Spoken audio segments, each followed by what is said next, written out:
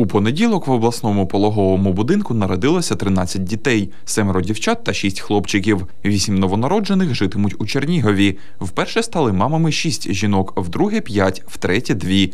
За міською програмою підтримки народжуваності цього року вже виплачено майже 2,5 мільйони гривень. Ще 91 родина на черзі.